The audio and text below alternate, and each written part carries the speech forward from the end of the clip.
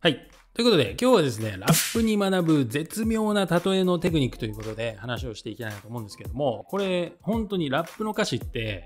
そのラップファンじゃない人からしても、思わずなんかそのニヤッとしてしまうような、ね、うまいなと思ってしまうような、結構ね、面白い例えっていうのがいっぱいあるんですよ。で、これ、このテクニックっていうのは、日常会話にものすごい応用できるテクニックなので、ね、このパンチラインを紹介しつつ、これをどうやって日常会話に使っていくかっていうことまで含めて解説していきたいなと思います。で、えー早速今日のパンチラインなんですけども、今日はですね、レッドマンとメソッドマンという、まあ、二人のめちゃくちゃかっこいいラッパーがいるんですけども、えー彼らの、えー Dangerous MCs という曲がありまして、まあ、2009年にリリースされたブラックアウト2というアルバムがあるんですけど、それに収録されている曲ですね。はい。で、この曲の冒頭なんですけど、めちゃくちゃもう入りからしていきなりめちゃくちゃかっこいいんですよ。で、そのね、冒頭の部分にこの例えがあって、僕個人的にすごい好きなので、えー紹介しつつ、まあ、解説していきたいなと思うんですけども、ということで、じゃあ早速パンチライン見ていきましょう。どうぞ。You can find me up inside a whore, making her legs go up like Ferrari doors. はい。ということで、You can find me up inside a whore, making her legs go up like Ferrari doors. というラインなんですけども、これまあ先にちょっと意味をね、簡単に解説していきますと、えーまず最初の You can find me は大丈夫ですよね。まあ、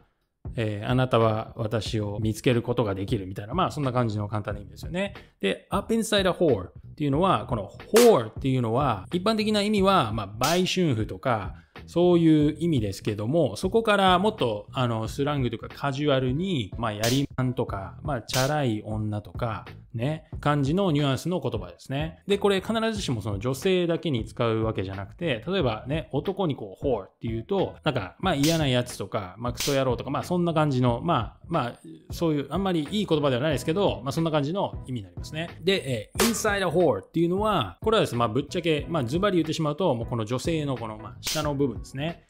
なのでそのチャラい女の人の、えー下の部分で私を見つけることができますよということは、まあ、つまりその女性がいるところに俺がいるぜみたいなそんな感じなんですよね。でこの up inside の up っていうのはまあ一般的な、ね、感覚からすると上っていうね、イメージすると思うんですけども、もちろん、まあ代表的な意味としては上にね、上なんですけども、えーこの up という言葉は実は、まあ、近くにっていう意味もあるんですよ。例えばですけど、まあ、walk up to the door っていうと、これは必ずしもそのドアが自分の目線より上にあってね、登ってドアの方に行くっていう、えー意味だけじゃなくて、このドアの近くに行くっていう意味なので、ね、なのでこのドアが自分とこの水平同じレベルにあるかもしれないし、もしくはもうこの目線より下の方に下って、行く時も、まあ、walk up to the door っていうような言い方もしたりするので、この up っていうのは、まあ、代表的な意味で言えば、まあ、上ですけども、ね、この近くにっていうニュアンスもあるので、これもまあ、ちょっと覚えておくといいかなとは思います。はい。なので、まあ、最初のラインはですね、You can find me up inside a whore ね。まあ、俺を見つけたけりゃ、まあ、その女のいるところに俺はいるぜ、みたいな、まあ、そんな感じの意味でしょうかね。うん。で、まあ、そのうまい例えっていうのは、実は次のラインで、making her legs go up like Ferrari doors という部分なんですけども、これどういう意味かというと、えー making her legs っていうのは、まあ、これはその上のラインの、まあ、女性の、えー legs、足ですよね。を、えー go up、上に上げるということなんですよ。like Ferrari doors っていうと、これはどういうことかというと、フェラーリのドアみたいに足を上に上げるっていう、まあ、意味なんですよ。スポーツカーね、フェラーリとかランボルギーニとか、ね、ドアがこう、ガルウィングっていうこの上にプシュって開くドアあるじゃないですか。まあ、それを想像してもらえばわかると思うんですけど、このね、上にこうドア、ドアがこう、プシュって開きますよね。そういった感じで、この女性の足をこう、上に持ち上げるっていう、えー意味なんですよ。この女性と、まあそういうね、やってる最中に、こう女性の足をこう、フェラーリのドアみたいに持ち上げるみたいな、この、ね、この例え、そのフェラーリのドアに例えるっていうね、その部分に思わず、ね、めちゃくちゃ、なんか、うわうまいな、これ本当にこのね、この一言だけですけど、ね、これめちゃくちゃうまいなって思ったんですよ、個人的に。すごくないですか、これ。なんか、そこに例えるかみたいな。ね。で、まあ結局下ネタ書いて言えば、まあそうなんですけどね。うん、そうなんですけど、でもこのね、そ、この頭の起点のね、聞き方、そう来るかみたいな、本当にうまいなと思ったんで、えー、まあこれをまず取り上げました。そして、えー、実はですね、まあこの後も、えー、レッドマンのバースがまあ少し続くんですけど、その後にもね、ちょいちょいね、このうまい例えっていうのが散らばってるんですよ。ちょっと紹介すると、そのすぐ後に、I'm naughty like Tommy Boy っていうラインと、Go back like Atari course っていうラインが続いてるんですよ。で、さらにその後に I'm fresh like Bel Air っていうラインも続いてるんですけども、このね、3つのライン、これそれぞれ例えになってるんですけども、えー、これどういう意味かというと、タミーボーイっていうのは、これはね、まあ、1990年代ぐらいにリリースされた、まあね、ほんと、下品でまあ、くだらないようなコメディ映画なんですけども、I'm naughty like Tommy Boy ね。トミーボーイみたいに、まあ、下品で、ね。で、えー、go back like Atari course。ね、この Atari っていうのは当たり。ね、この当たりっていうのは実はこれは、まあアメリカの古いアーケードゲームとか作ってる会社なんですけども、ね、アーケードゲームから始めて、まあその家庭用のゲーム機器とかを作ってる会社なんですけども、のコード、ね、当たりコード、当たりのコード。ね、この当たりっていう会社、ポンっていうね、ゲームが有名な会社で、これまあ数年前か、まあちょっと前ぐらいにこのポンっていうのが、まあ、リニューアルして、なんかそのテーブルでやる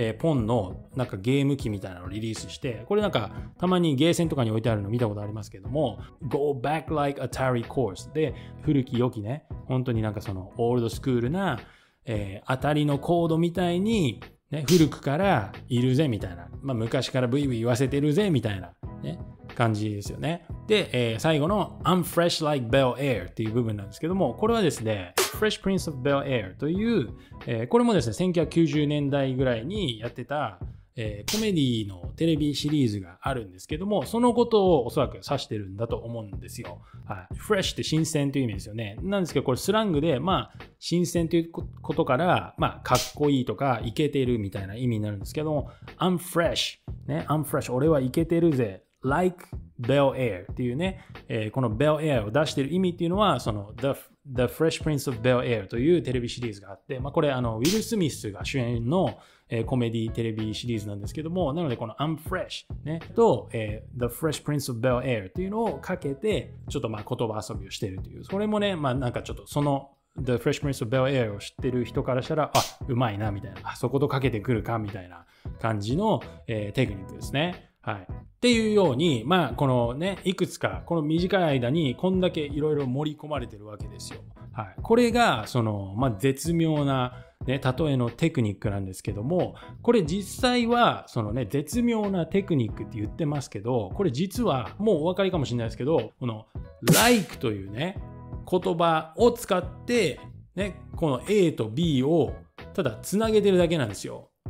はい。これがもうその絶妙なテクニックの、まあ、内側なんですけど、本当にこの、ただ、like という言葉で、全く全然違うとこからこう、ね、持ってきてガチッとくっつけて、うまい例えにしてるんですよ。これだけで、本当にその、まあ、聞いてる方からしたら、うまいなっていう、うん、そうくるか、みたいな、そこで例えくるか、みたいな、えー、感じになるんですけども、これっていうのは本当に英語力の問題とかじゃないんですよね。うん、英語力がたとえなくても、ね、要はここ、ここで何を結びつけるかの問題じゃないですか。ね、なんとかなんとか、like で、ここでね、何を持ってきてもいいわけですよ。これを、その、いかに頭の起点を聞かせて、ね、なんか、そう来るかみたいな、そこと例えるかみたいな。まあ、これ日本語でも一緒だと思うんですけど、例えが上手い人ね、芸人さんとかね、例えが上手い人って、あ、それと例えるかみたいな、やっぱりニヤッとしちゃうじゃないですか。これっていうのは別にその、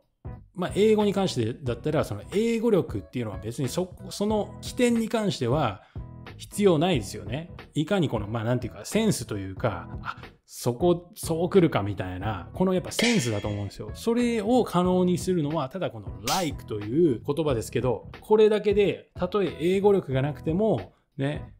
本当にネイティブを笑かすことだってできるし、ね、聞き手が、おーみたいな、ニヤッとするような、ね、ことだってできるわけですよ。このね、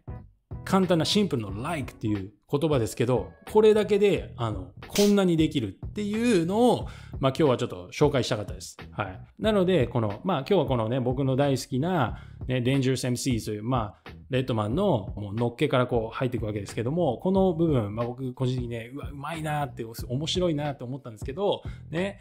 こうやってこう、いとも簡単にこの like を使って、こっちとこっちをこう、つなぎ合わせるという、まあ簡単なテクニックなんですけども、これね、あの本当に日常会話でバンバン使えるテクニックだと思うので、習得するも何も like 使って、ね、くっつければいいだけなんで、ね、誰でもできると思うので、これぜひね、日頃からちょっと意識して話してみるといいかなと思います。はい。